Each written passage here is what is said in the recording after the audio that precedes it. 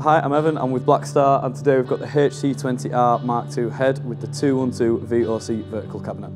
The 212 has a removable back panel which allows for a partly open back or a fully closed back and today we're going to demonstrate the audible differences between the two positions.